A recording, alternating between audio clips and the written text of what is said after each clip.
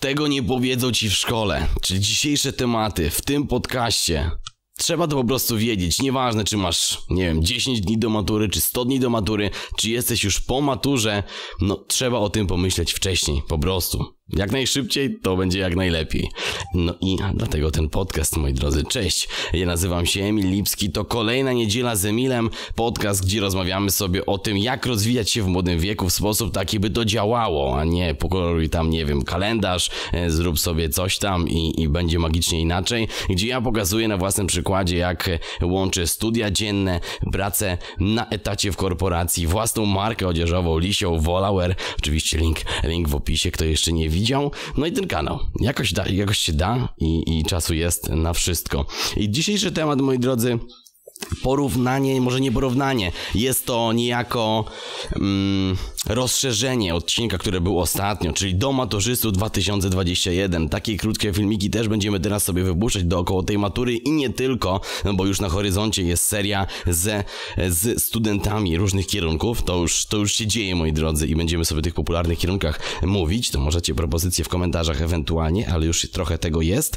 No ale teraz rozszerzenie. Tam rozmawialiśmy sobie pokrótce, kto nie widział, no to e, pewnie gdzieś tu karta wyskoczy. Tam rozmawialiśmy sobie o takich oczywistościach. Dziś sobie rozwiniemy te rzeczy. E, trochę ja, tak jak to podcastowej formie, wrócę, taka retrospekcja można powiedzieć. Chyba to dobre słowo. Wrócę do... Mm, do tego, co tam się działo, nie? Parę lat temu y, u mnie i jak to wyglądało. No i tak naprawdę, dlaczego nie powiedzą ci w szkole, moi drodzy? Bo nikt nie mówi o tym, że tak naprawdę idzie się na studia po to, by wejść na rynek pracy później. Zobaczcie, nikt się na ten temat nie zastanawia. Każdy wybiera studia i chce jak najlepszy kierunek, na jak najlepszy kierunek pójść. W domyśle najlepszy oznacza to najlepiej napisać maturę na jak najwyższy procent z danego przedmiotu i dostać się na na przykład inną uczelnię w innym mieście na ten sam kierunek, jedna z opcji. No druga opcja, jak się dostanę to pójdę na ten kierunek, a jak się nie dostanę to pójdę na ten kierunek i tak dalej, i tak dalej. Okazuje się, że nikt nie ma w głowie tego, że wybierając ten kierunek, tak naprawdę to jest kilka lat twojego najlepszego, jak zawsze mówię, podkreślam, zawsze najlepszych lat życia. Mm, nikt tego nie, nie myśli po tym. Co dalej? Nikt nie filtruje rynku pracy, a to powinno być twoim głównym celem. Pomijamy ludzi, co chcą zostać i robić doktorat, profesora i tak dalej. To jest jakiś, myślę, promil, nawet nie procent osób, które studiują. Wybierając studia też niektórzy teraz już bardziej na to patrzą, prawda? Że Kierunek jeden to jest tak zwany wyższa szkoła lansu i wansu. Inny kierunek daje po prostu realne zatrudnienie po nim i, i godne życie. I ktoś mi też powiedział, no na, na tym etapie, no co ja się będę zastanawiała, co ja się będę zastanawiał, prawda? No a jednak to jest ten moment, moi drodzy. Ktoś może być teraz taki zmieszany, że to już, no ale tak to już. Jak masz 19 lat, około tego wieku, no to jeżeli teraz nie zaczniesz tego, tych decyzji podejmować w życiu i je przeciągać o ileś tam lat, iść na jakieś studia byle jak, bo tak, bo mama każe, bo tata każe, bo wszyscy idą, nie zaczniesz tego świadomie jakby podejmować decyzji w swoim życiu, stąpać po ziemi twardo, tak, by wiedzieć jak swoim życiem kierować, no to jesteś w czarnej, w czarnym pośladzie, jak to się mówi. Mam nadzieję, że mi algorytm YouTube'a tego nie wybluruje, dlatego nie dokończyłem, znaczy nie wybluruje, tylko nie wycenzuruje. E, nie wytnie e, zasięgu, także no łapka to musi być, bo już się robi groźnie, już się robi groźnie, słownictwo padło, niestety, no ja tutaj podcastów z reguły nie wycinam.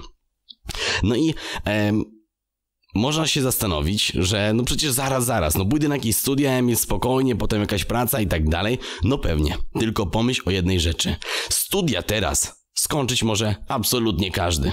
Osoba, która na przykład idzie do technikum i nie idzie na studia, bo ma tak zwany zawód, dlaczego tak zwany to zaraz rozwiniemy, no to nie ma żadnych przeszkód żeby też studia jakieś skończyła i została nawet magistrem.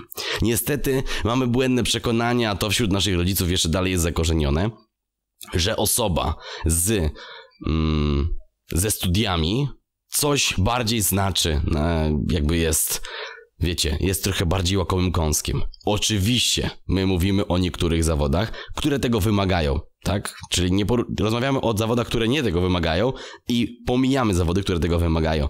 Przykład, no prawnikiem bez studiów prawniczych chyba się zostać nie da w tym kraju.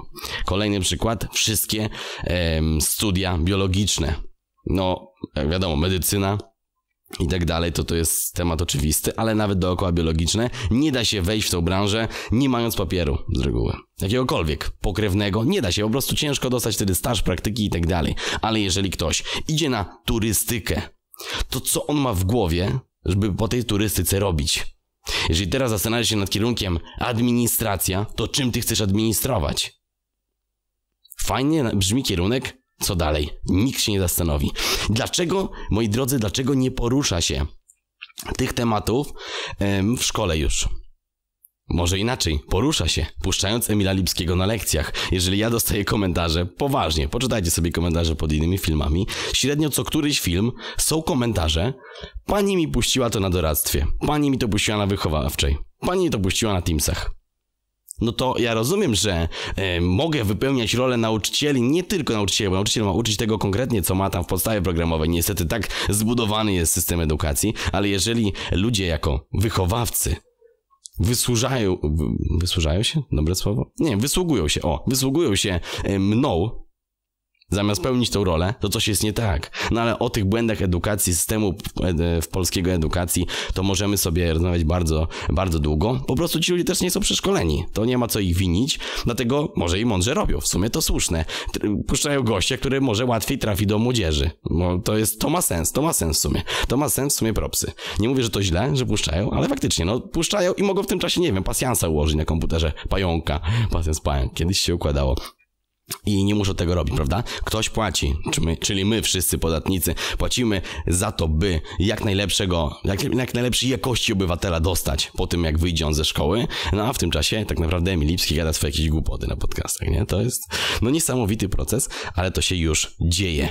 Mm, wracając do tego tematu administracja, czym chcesz administrować i tak dalej, no to zobaczcie, że wybór tych studiów na tym etapie jako bycie maturzystą, to się wydaje tak do matury, niewykorzystane wakacje maturalne, o czym prawdopodobnie, jeżeli chcecie, to piszcie komentarz. O, dobry pomysł. Jeżeli komuś naprawdę zależy, to poświęci te 30 sekund, napisze komentarz, zasięg będzie na podcaście inny.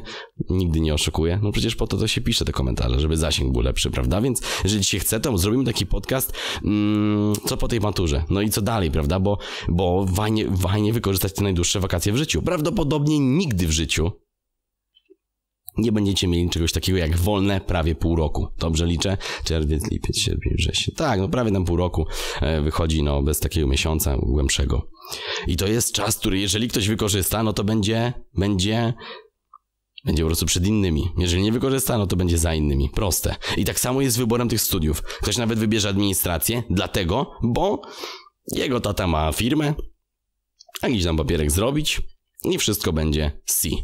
Jest gotowe zatrudnienie, nie ma problemu. Przerwa na łyka. Można robić te ASMR sounds. To by był międzynarodowy content. To by żarło. Dobry pomysł. W dolarach wypłaty z reklam. Nieważne. Administracja, prawda? Turystyka, takie te dwa kierunki totalnie na pałę, nieprzygotowane tutaj, broń Boże. Administracja i ten ma nawet marketing, turystyka. No zobaczcie, komuś się wydaje, że przestudiuje turystykę, no i gdzie go zatrudnią? W drugą stronę, wychowawca bądź nauczyciele mówią idź na studia. Na przykład ludzie po humanistycznych tych, nie wiem tam, polski rozszerzony, HIS rozszerzony, HIS czy WOS? Nie pamiętam. nie pamiętam.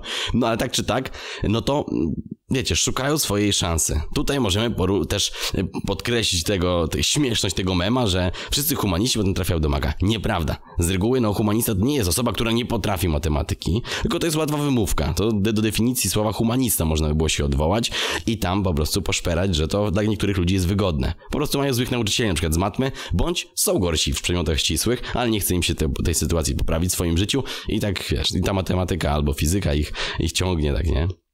na dno. Zobaczcie, że z reguły ludzie z matwizowych albo matgeo, oni czasami, no, no czasami, czasami tylko mają problemy. Myślę, że czasami mają tylko problemy z tymi przedmiotami humanistycznymi, a na odwrót ten problem jest, no coś tu jest nie, nielogicznego w tym wszystkim, no ale to do definicji odsyłam i oni by mogli szukać, nie? Że turystyka, administracja, coś tam, jakieś takie, wiecie, rzeczy typu, no typu humaniści, prawda? Humaniści, hashtag humaniści, hashtag human, nie? No, nie chodzi o to teraz, żeby szydzić z humana, tylko chodzi o to, że znowu nie masz planu później co robić. No, wiecie, z czego żyć, prawda? Turystykę można skończyć i, i co? Agroturystykę może założyć jakoś swój biznes. No fajnie, tylko znowu, zobaczcie, 3 czy tam 5 lat, w zależności czy pierwszy stopień, czy drugi również, do magistra, robiąc licencjat, a potem 2 lata magistra, no czy jest to potrzebne ci w ogóle? Teraz ocenić zyski i straty. Wszyscy w liceum i technikum. Idźcie na studia. W technikum mniej, dlatego zawsze o tym liceum rozmawiamy. W technikum to takie z pół na pół. Mm, mówią, no dobra, musicie iść, musicie iść tam zrobić te studia. Ja się pytam, ja się pytam tych nauczycieli i, tak, i innych osób, rodziców, co, co to mówią. I co dalej? Czy wy mówicie tym ludziom co dalej? No nie, mówicie idź na studia, a potem co? Idź na studia, synek. Nikt nie zadaje pytania co dalej. Ale idź. Czemu? Idź. Nie chcę iść na studia. Chcę wyjechać za granicę. Nie, idź na studia. Bo tak. Hmm? To jest dobry pomysł, swoją drogą. Jeżeli ktoś ma możliwości, jeżeli ktoś się zastanawia studiować za granicą, to wyjeżdżajcie z tego kraju, moi drodzy. Czym starsi jesteśmy, tym ciężej nam podejmować takie decyzje. Ja osobiście uważam, że jeżeli ktoś ma język nie wiem, typu hiszpański studiować w Hiszpanii, to trzeba naprawdę wyjeżdżać. Dlaczego, moi drodzy, dlaczego? No bo jakość kształcenia, a może bardziej tego, jak się jaki jest program i jak jest rozłożony na uczelniach za granicą, to są dwie różne strony medalu. Tego też nikt nie powie niestety, a nauczyciele niby mają te realia studiowania, bo ileś tam lat temu studiowali. No, często, gęsto, dawno, bo są to nauczyciele starszej daty. No i nie jest to za różowe, moi drodzy co roku rozmawiam z maturzystami od lat dwóch, może nawet trzech. Tak już, wiecie, rok w rok robimy sobie te materiały o firmie, o, o ten i tak dalej. Ten kanał się rozwija cały, coraz bardziej. Mm, I nasze grupy, ta maturalna i druga, jak życie nie tylko przeżyć. I zawsze jest ten moment, w którym jest ta, wiecie, ekscytacja. Wow, na przykład napisałem, napisałem, nie? I mija ten czas, mamy wyniki, wow, wyniki, dostałam się na studia jakieś tam, nie wiem, Politechnika wyższego, wyższego, wyższego nic nie robienia, super, albo Politechnika w jakimś mieście wojewódzkim takim, że, nie wiem, miasto stołeczne Warszawa, nie? Wow, ale to będzie wyglądało CV. Okazuje się, że idzie się na taką uczelnię, poznaje się realia, poznaje się to, że czasami wykładowcy wykładają na tych tak zwanych najgorszych uczelniach w rankingach, i też wykładają tutaj. Dlaczego? No bo tam mają na przykład prywatnie płacone jeszcze więcej niż na publicznej szkole. Eureka. No każdy chce zarabiać pieniądze. Nie możemy tych ludzi za to winić. Nikt o tym nie mówi, nie? Nie, idź, z, idź, rozpłacz się, jak źle matura ym, pójdzie, albo nie wiem, presja nakładana przez rodziców i nauczycieli, wychowawców, że Jezu, to matura, teraz musisz nic nie musisz, tylko możesz. I to jest ta różnica między tymi kanałami, kanałami coachingowymi. To mnie, mnie to szczerze mówiąc, Będę szczery tak do bólu. Mnie to naprawdę nie obchodzi, co ty robisz w swoim życiu. Naprawdę. Bo ja lubię nagrywać, to jest fajne. Jest dziś ekspozycja e, mojej osoby w sieci. Super sprawa. Ale no, ja myślę, że mówię tak oczywiste czasami rzeczy, ale logiczne takie, na które nie wpadniemy, że fajnie jest zestawić to z tym takim, wiecie, zrobić taki kontrast tego, co, co mówi nam społeczeństwo całe, co mówią nam rodzice, co mówi nam szkoła, co mówi nam serce, co mówi jakiś random z internetu.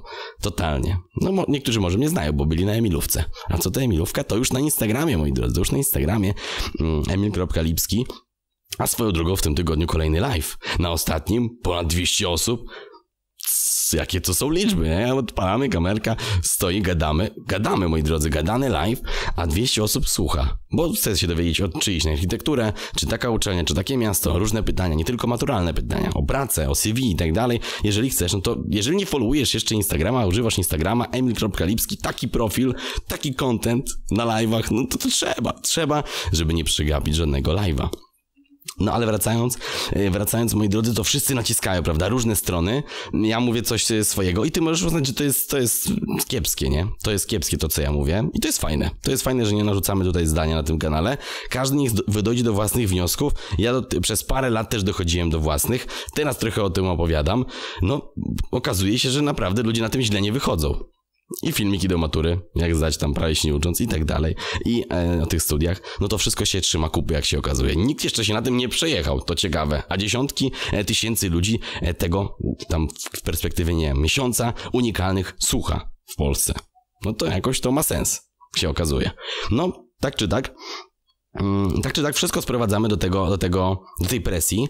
Ja mówię, że mm, to nic, jak będzie słaby wynik I żeby ktoś tego nie odebrał, że to znaczy, że można nic nie robić, bo to nie o to chodzi. Fajnie matura ćwiczy silną wolę tego, co ty chcesz. Jeżeli naprawdę chcesz się dostać na jakąś uczelnię, masz ileś tam dni do matury i ty teraz się zastanawiasz, o już nie ma sensu się uczyć, albo o nic mi się nie uda i masz takiego wewnętrznego doła, no to ja ci powiem, weź ty się ogarnij.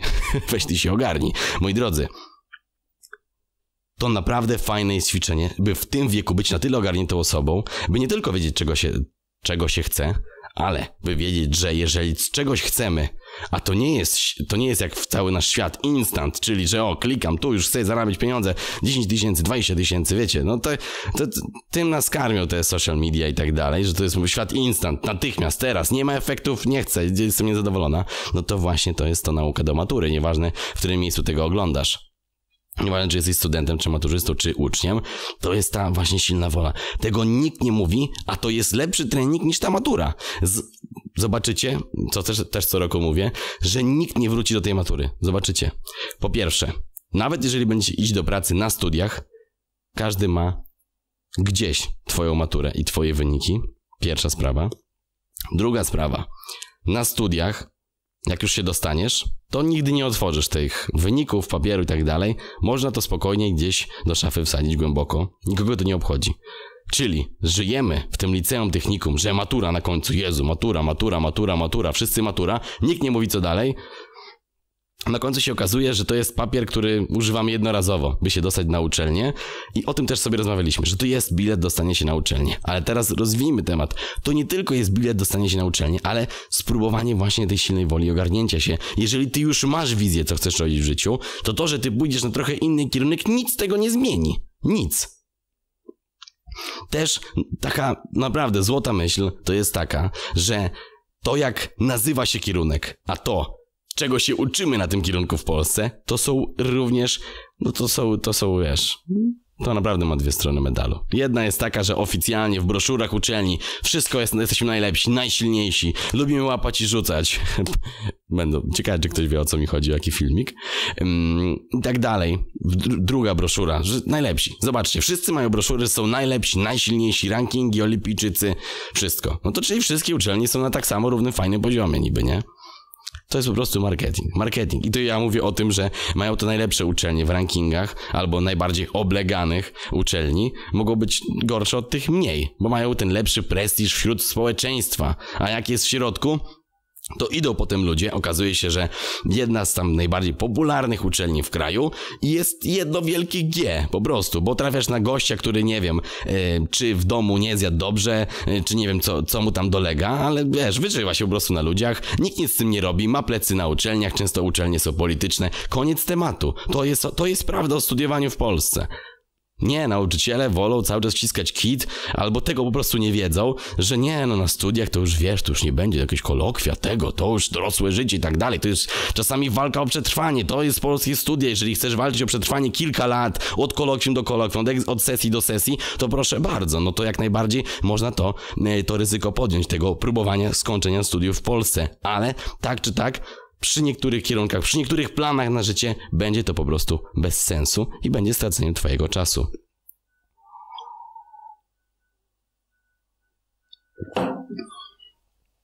To kolejna rzecz to koledzy i koleżanki.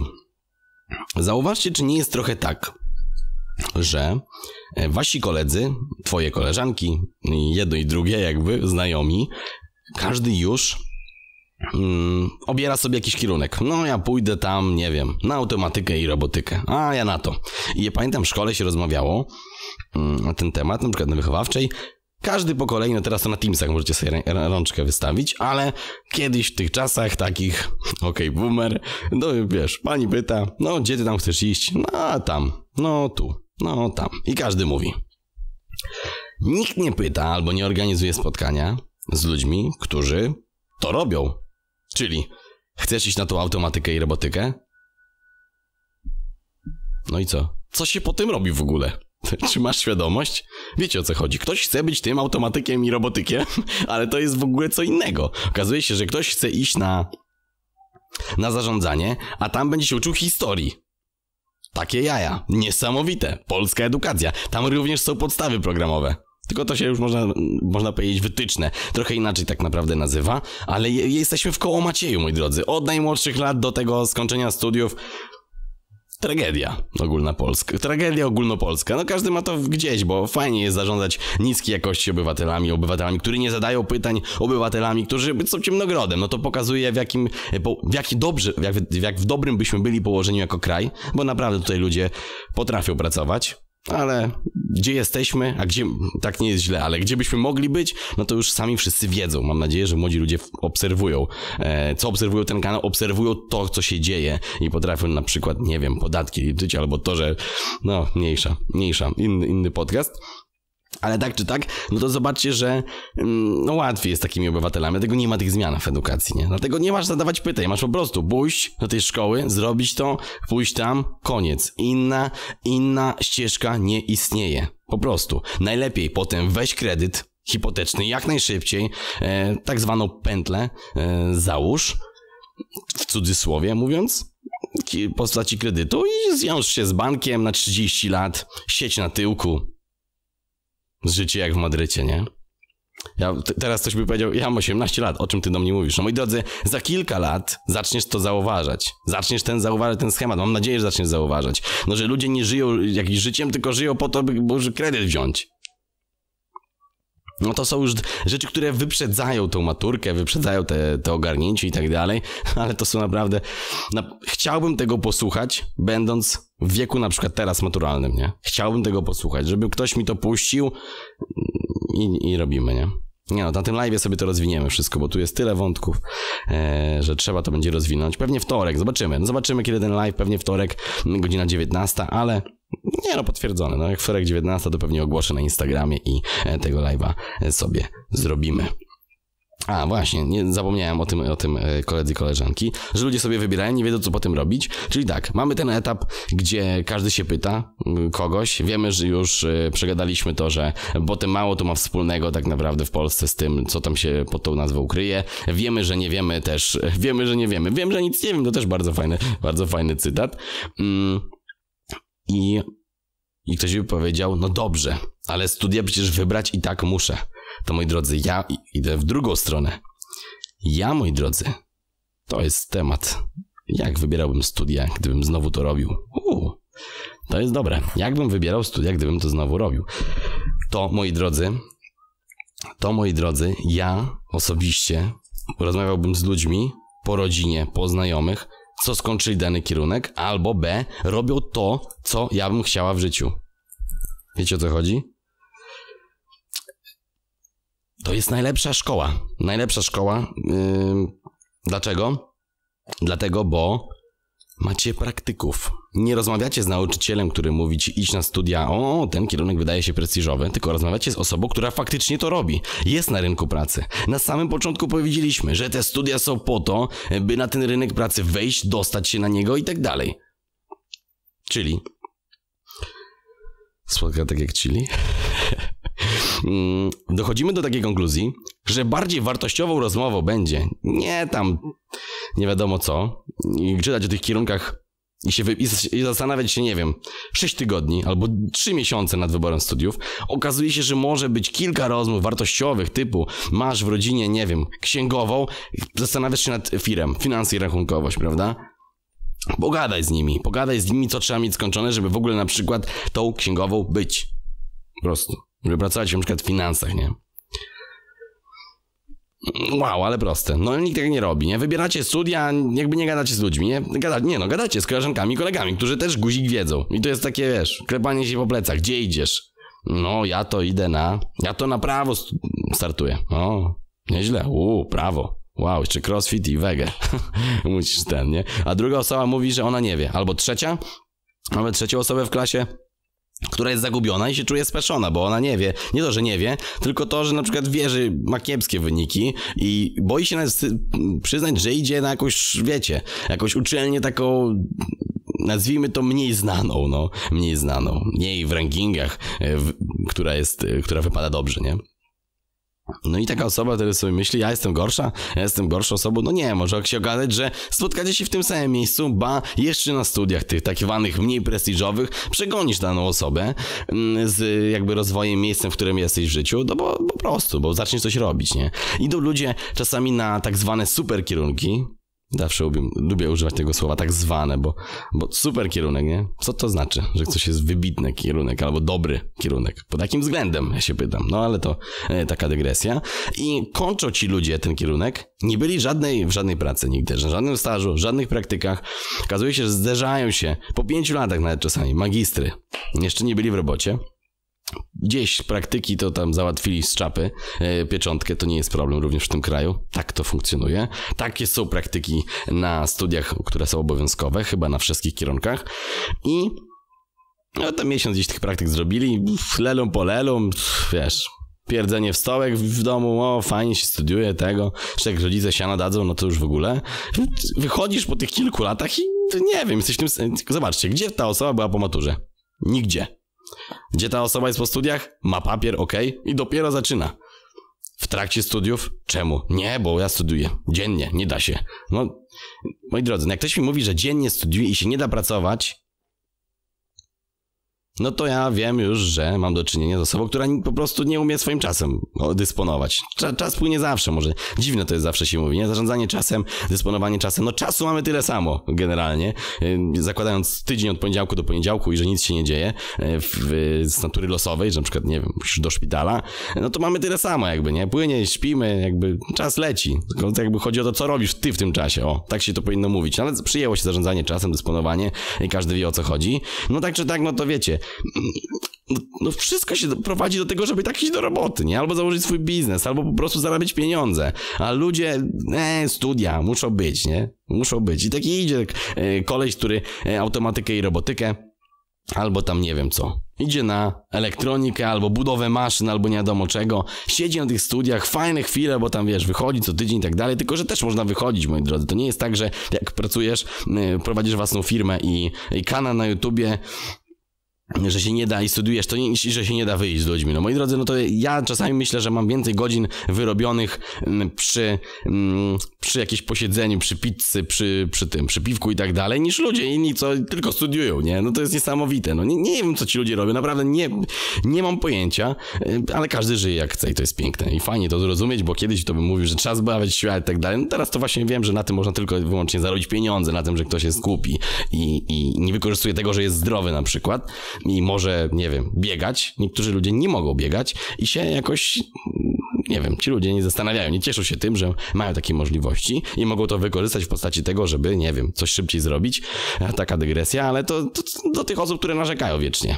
Czyli, że mam, no, złe mi matura pójdzie, złe wyniki, słaba uczelnia, nie dostanę się, nie, nie, nie, do tego miasta nie pójdę, tylko do tego mniejszego albo na odwrót i wie, wszyscy narzekacie, nie? Ta grupa narzekająca, narzekacie na wszystko. Źle to, źle tamto i tak dalej. No moi drodzy, zacznijcie wy żyć w tym wieku, bo to jest najlepszy okres w życiu. Ktoś by powiedział, no to przecież chwilą mówiłeś, że gość nie poszedł do roboty, fajne chwile i tak dalej, no ale... No i tak się sprowadzamy do tego, że wszyscy się spotkamy prędzej czy później, zarabiając pieniądze, prawda? Czy w pracy, czy na własnym biznesie, czy nie wiem, czy za granicą. Tak się sprowadza do tego, żeby wymienić swój czas, umiejętności, wiedzę, y, spryt i to wszystko do tego, by ktoś ci dał po prostu walutę jakąś. No to magia, nie? Magia, to powinno być, zobaczcie, że też y, te, to szkoła, szkoła już w liceum tego nie pokazuje. Pokazuje to, że ważne jest, mając, będąc na profilu Matwis, teraz znowu podstawą programową idąc, no to moi drodzy, tam ludzie się uczą chyba dwie albo trzy lata biologii na Matwizie. Ja się pytam, o co chodzi. Ja rozumiem, biologia bardzo ważny przedmiot, potem gafy ludzie popełniają, ale niestety to, co my się nauczymy, tego materiału jest tyle, że i tak potem googlujesz jakieś proste rzeczy biologiczne w, w no googlujesz, nie? Nie szukasz, googlujesz w Google, tylko no googlujesz. Zapędliłem się.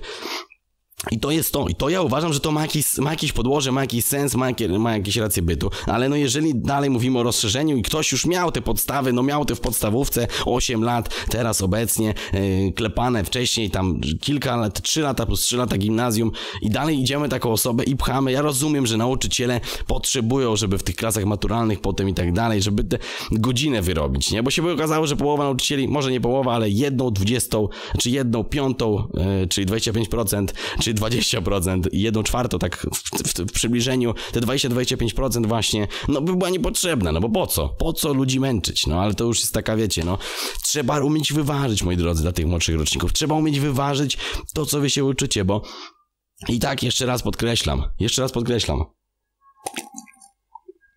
Wszyscy się spotykamy w tym samym punkcie. Znaczy w innych miejscach, innym czasie i tak dalej, ale w tym samym punkcie, by zarabiać pieniądze.